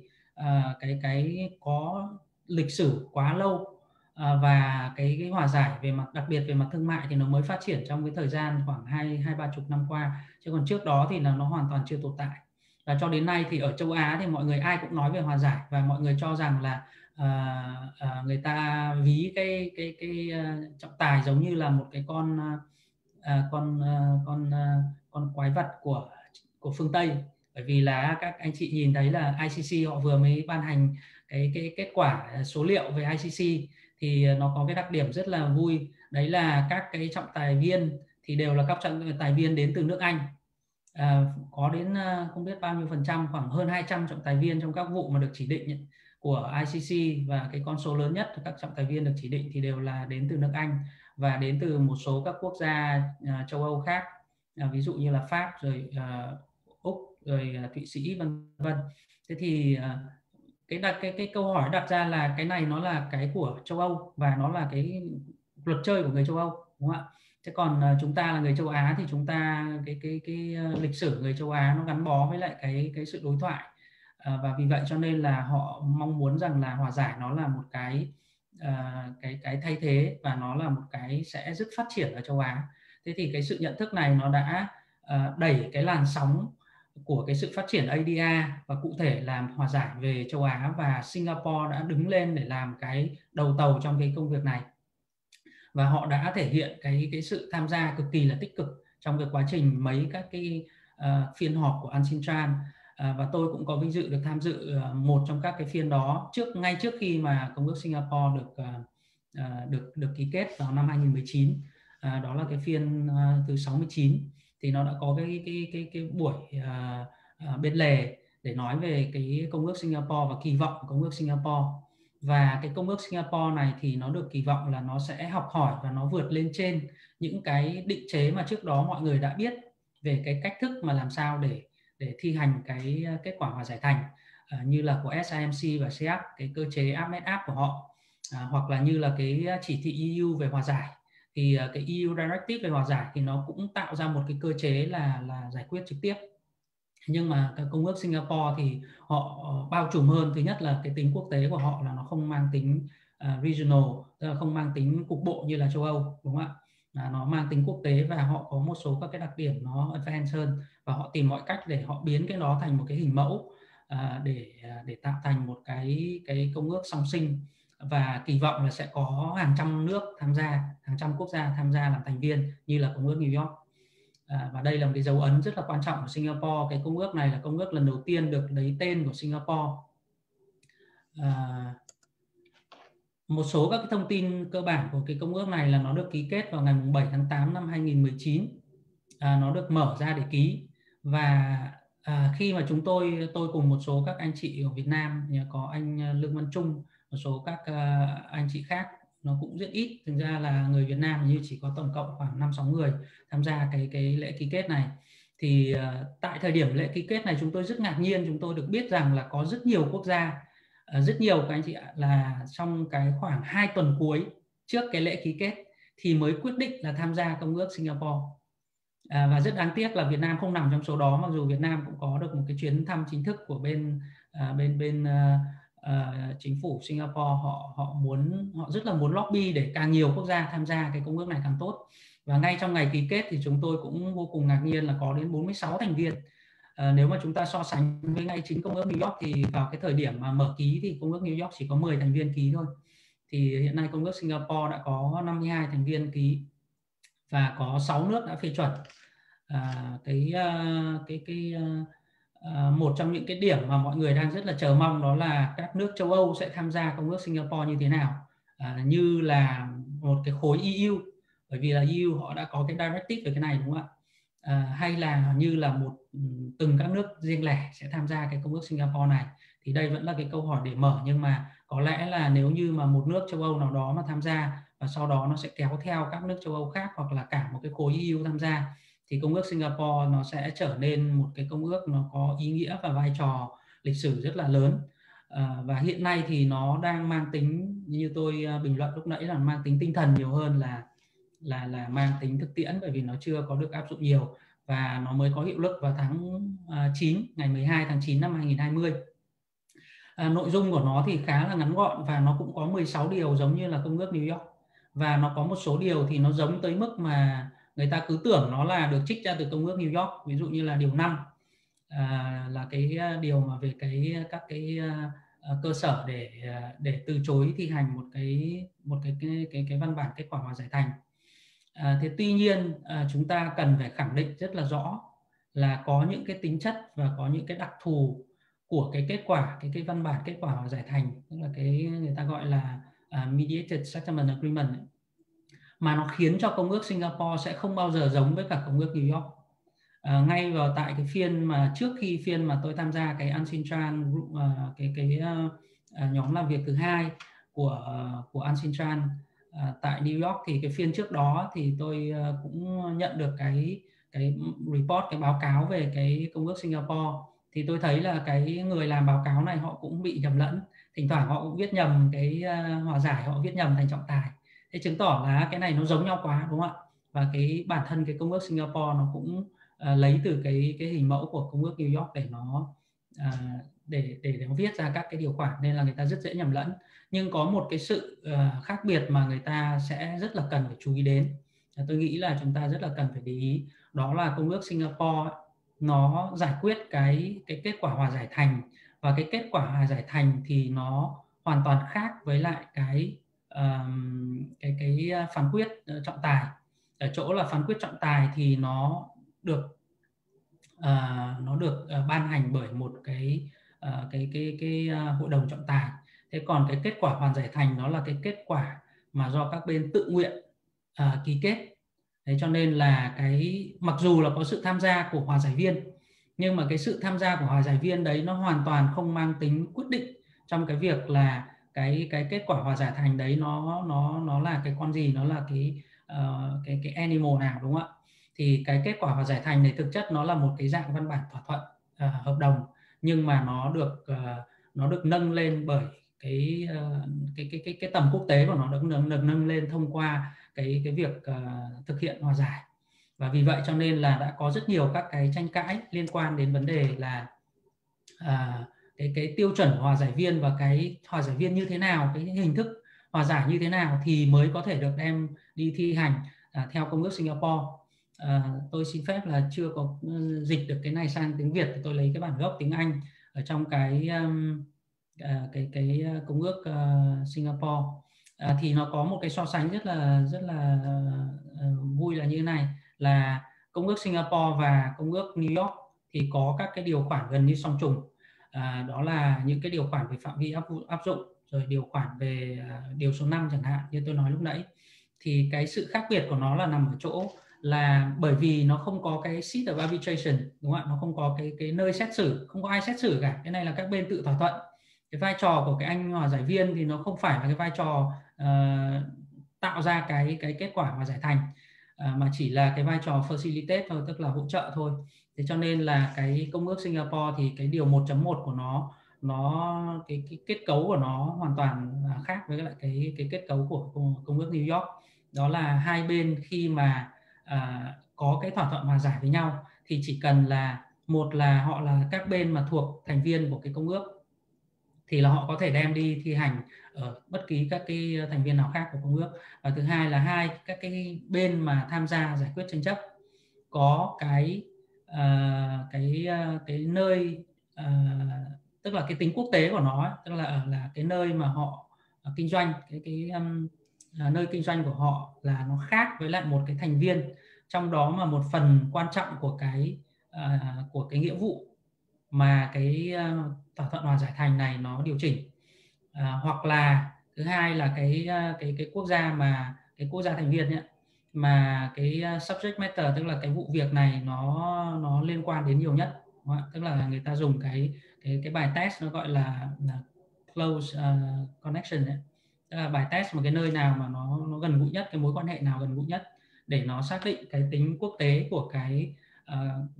của cái cái cái văn bản hòa giải thành. Và cái cơ sở để uh, để không công nhận và cho thi hành một cái ờ, văn bản nó hòa giải thành mang tính quốc tế thì nó rất là khác giữa cái ờ, công ước Singapore và công ước New York ở một cái điểm là điểm E. Lúc nãy anh anh Dũng cũng đã có trích dẫn đấy. Tức là nếu như mà một cái người hòa giải viên mà họ vi phạm một cách nghiêm trọng cái ờ, các cái tiêu chuẩn mà áp dụng cho họ thì cái này tôi cũng có hỏi uh, À, tôi cũng có hỏi ngay chính những cái người soạn thảo trong cái trong cái cái phiên mà của Ansintran uh, à, Working Group uh, số 2 à, tức là cái cái uh, nhóm làm việc số 2 vào phiên họp số 69 ấy, thì họ có trả lời rằng là thực chất là họ đưa ra cái này là họ đưa ra với cái với cái tầm nhìn là để tạo ra một cái uh, một cái cái cái, cái uh, chuẩn mang tính chung nhất cho cái cộng đồng quốc tế để họ xem xét và họ không kỳ vọng rằng là cái này nó sẽ gắn với một cái quốc gia nào. Đấy, bởi vì là nếu như chúng ta đọc kỹ cái wording của cái này nó sẽ nói rằng là tiêu chuẩn áp dụng cho hòa giải viên à, hoặc là cái cái hòa giải mà à, mà nó mà nó gọi là applicable tức là nó áp dụng cho cái hòa giải viên đó. Thế thì thế thì chúng ta nếu như mà chúng ta hiểu theo cái bối cảnh Việt Nam thì cái tiêu chuẩn đó sẽ là cái tiêu chuẩn theo quy định pháp luật Việt Nam đúng không ạ? Và và như vậy thì chúng ta sẽ gọi là quốc gia hóa cái cái cái tiêu chuẩn này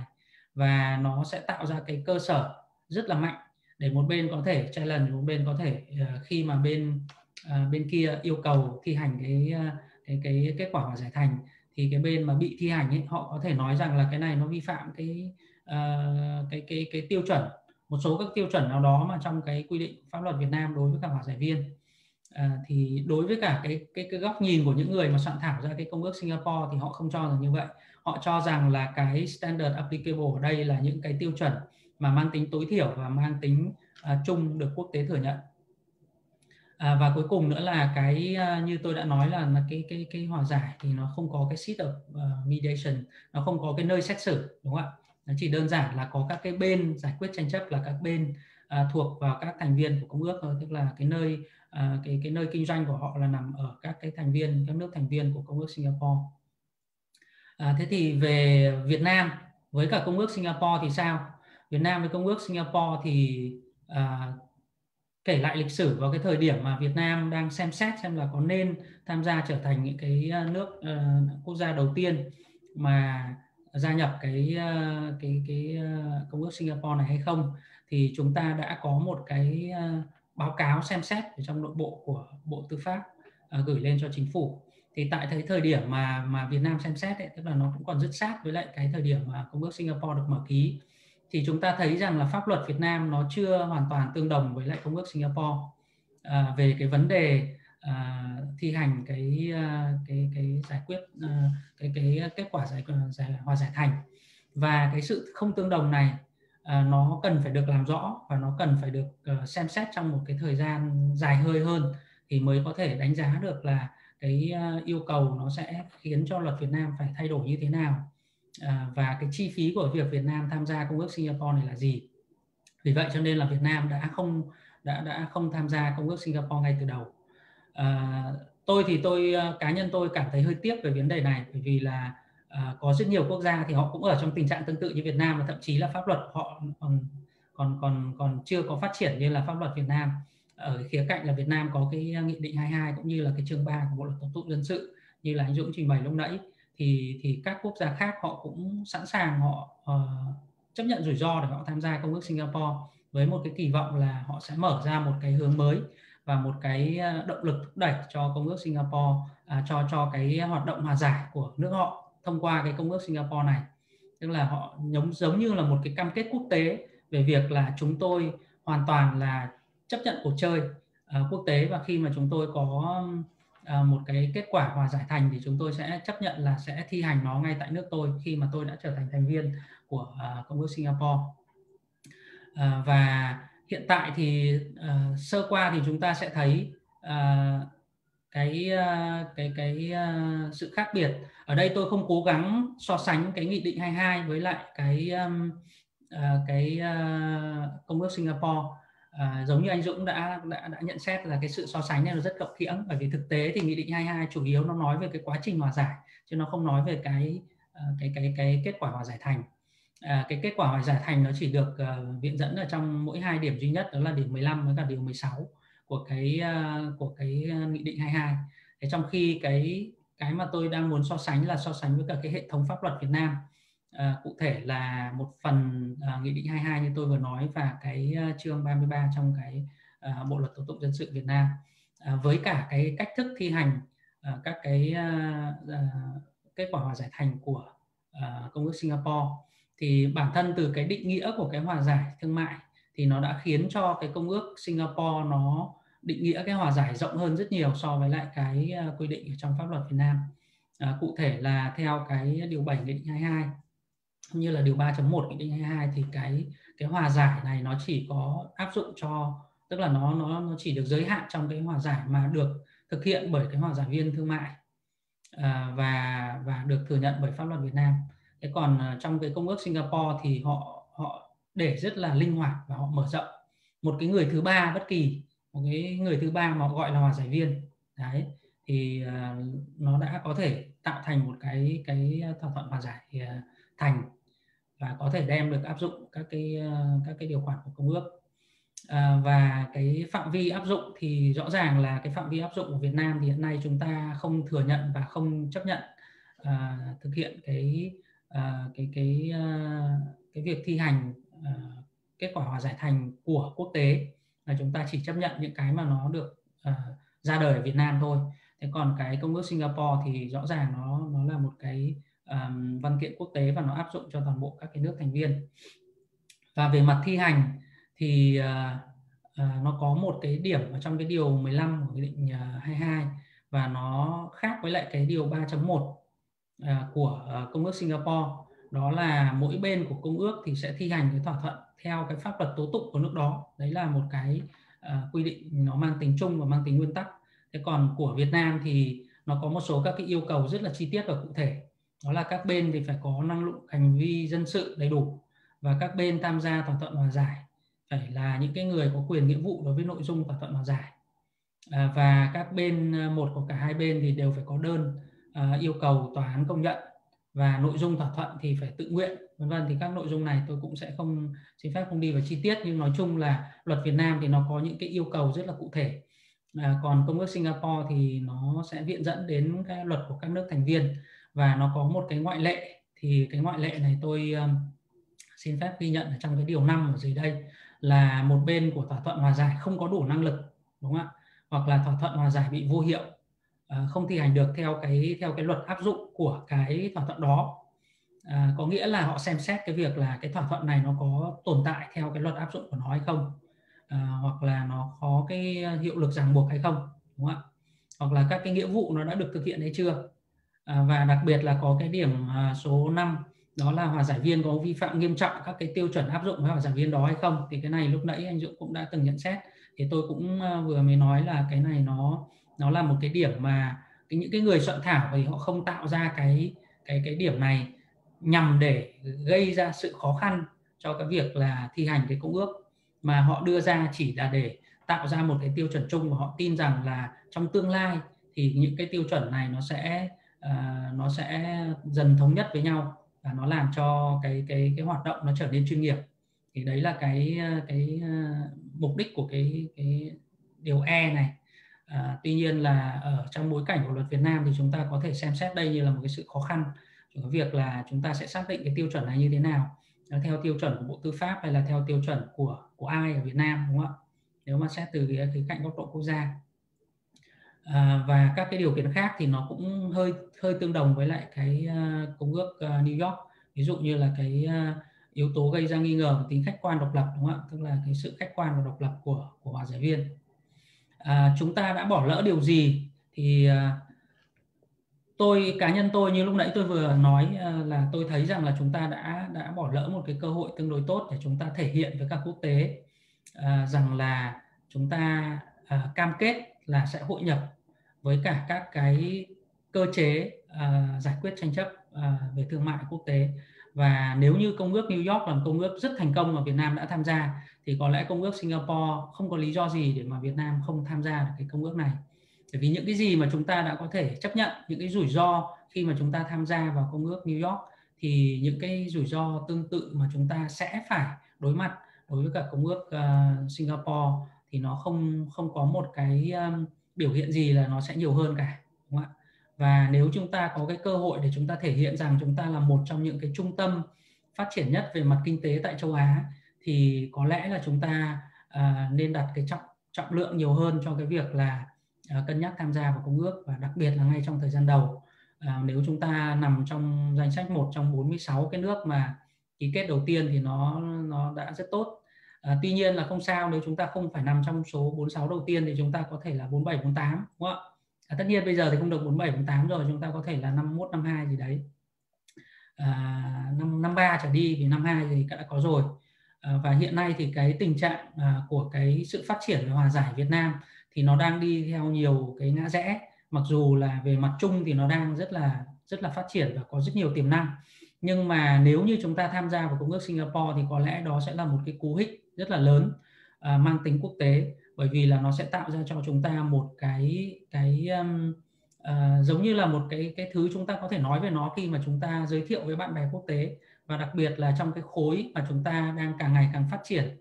à, đó là các cái các cái khối các cái thành viên đã đã ký tham gia ký kết công ước Singapore. À, và những cái à, khối mà xa hơn như là Brazil hay là à, Ấn Độ chẳng hạn là những cái nước mà tham gia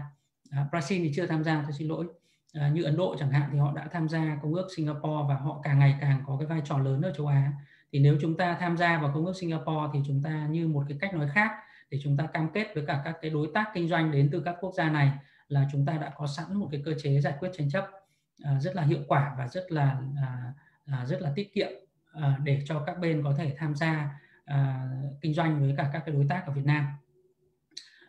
Và cái lý do mà chúng ta hiện nay vẫn còn đang gìn giữ đó là vì sao mà chúng ta chưa muốn tham gia ngay bây giờ đó là cái cái, cái công ước này nó quá mới. Chúng ta cần nhiều thời gian để nghiên cứu và cái sự khác biệt như là chúng tôi vừa mới trình bày lúc nãy thì nó có thể tạo ra cái chi phí tham gia đối với cả Việt Nam. Thì cái kinh nghiệm của chúng tôi là đối với cả một số cái cái cái, cái công ước khác mà chúng ta đã từng tham gia đó là chúng ta cứ phải làm để chúng ta mới đến được. Chứ còn nếu chúng ta cứ ngồi chúng ta nghĩ thì thì thì nó lại đặt ra một cái câu hỏi giống như là câu hỏi trước đây nó đã đặt ra cho cái ờ, công ước ờ, viên về mua bán hàng hóa quốc tế. Đó là thế nếu chúng ta mà không tham gia thì sao? Chúng ta có làm sao không? Đúng không ạ? Thì câu trả lời nếu mà dành cho các nhà làm luật hoặc là những cái cơ quan uh, tư pháp của Việt Nam thì đó là nếu chúng ta không tham gia thì cũng không sao cả. Vì chúng ta vẫn đang hoạt động tốt trong cái nội bộ của chúng ta đúng không ạ?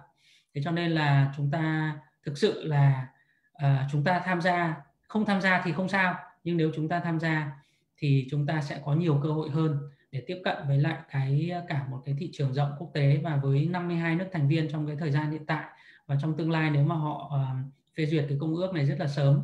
À, thì chúng ta sẽ có một cái uh, cái cái cái công cụ mới và một cái cú hích mới để thúc đẩy cái thị trường về hòa giải ở chính trong nước à, Việt Nam đặc biệt là đối với cả các hoạt động hòa giải mà có tính quốc tế như là à, đối với cả các đối tác nước ngoài hoặc là với cả các cái à, cơ quan à, các cái, cái công ty FDI ở Việt Nam đúng không ạ? À, và những cái sửa đổi pháp luật cần thiết thì tôi nghĩ rằng là cũng không phải là quá quan trọng mà theo theo tôi thì những cái à, mang tính uh, gốc gác hơn quan trọng hơn đó là phải phổ biến và nâng cao kiến thức của mọi người về công ước Singapore và có cái à, cái cái nghiên cứu thực chứng rõ hơn về cái chi phí và lợi ích khi Việt Nam tham gia công ước Singapore và báo cáo chính phủ và đề xuất cho chính phủ tham gia cái công ước này. À, và chúng ta sẽ cần phát triển những cái nhóm luật sư hòa giải nhóm hòa giải viên à, để để phổ biến nâng cao cái kiến thức và để mở rộng các cái hoạt động à, à, liên quan đến hòa giải hơn và kết hợp các cái hình thức khác. Thì đấy là là những à, cái chia sẻ của tôi liên quan đến công ước Singapore và gắn với cả vấn đề Việt Nam. Xin cảm ơn à, các quý vị. À, xin cảm ơn à, luật sư Nguyễn Trung Nam. Thì uh, qua thực ra là qua phần trình bày của anh thì chúng tôi cũng cũng, cũng thấy rất là rõ tất cả những cái vấn đề vừa là thuật những cái vấn đề về phân tích khá là tâm huyết để gợi mở cho những người có thẩm quyền ở trong việc là uh, cân nhắc gia nhập hay là chưa gia nhập hay là thời điểm gia nhập công ước uh, Singapore về về thi hành hòa thỏa thuận hòa giải. Và chúng tôi cũng được biết là, là thực ra là qua trao đổi với một số chuyên gia thì họ cũng thể hiện cái quan điểm rằng là Việt Nam là, là đang là quan sát viên và có xu hướng là mong muốn để tìm hiểu thêm nữa và sớm để gia nhập cái công ước Singapore này. Thế là cái cái cái xu hướng cái, cái mong muốn là đang là như thế. Thế thì còn sớm là bao giờ thì có lẽ thì cần đến cộng đồng của các chuyên gia uh, chúng ta và những, những chuyên gia khác nữa thì có những cái tiếng nói nó phù hợp thì, có thể là sẽ sớm nhất có thể. Thì Ờ, thưa quý vị là thực ra là việc ờ, tham dự các cái tham gia là thành viên của các cái công ước về về vấn đề thương mại ấy, thì nó rất là tốt trong việc nâng cao hình ảnh và và, và môi trường kinh doanh môi trường đầu tư tại tại một quốc gia. Thế thì khi mà bạn bè quốc tế cân nhắc cái việc làm ăn cũng như là đầu tư tại Việt Nam với Việt Nam ấy, thì họ thường sẽ giả soát một số các cái yếu tố của môi trường kinh doanh trong đó có việc là cái quốc gia đấy có là thành viên của các cái công ước mà trong lĩnh vực thương mại thì chúng ta cũng biết rất nhiều là công ước. Ờ, công ước New York 1958 để công nhận và thi hành phán quyết trọng tài nước ngoài.